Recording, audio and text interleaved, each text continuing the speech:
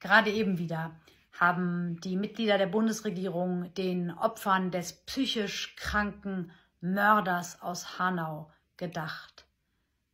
Genau genommen neun der zehn Opfer haben sie gedacht, dem zehnten nicht, denn das zehnte Opfer ist weiß und deutsch und kein Migrant. Das schreibt Dunja Hayali, die neue vom Heute-Journal auf Twitter ganz ausdrücklich. Was für eine Schande ist das den vielen Opfern, die Opfer der falschen Migrationspolitik geworden sind, die Opfer von Menschen geworden sind, die wegen politischer Fehlentscheidungen überhaupt in dieses Land gekommen sind oder längst hätten ausgewiesen werden müssen, diesen Opfern wird nicht gedacht. Say their names.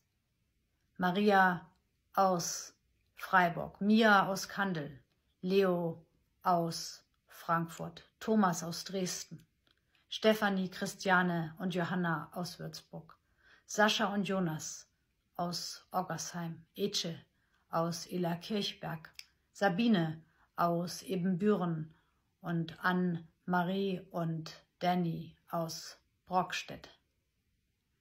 Say their names und nennt die Namen derer, die für ihre Todesfälle verantwortlich sind. Merkel und ihr Kabinett und nun Herr Scholz und Frau Faeser.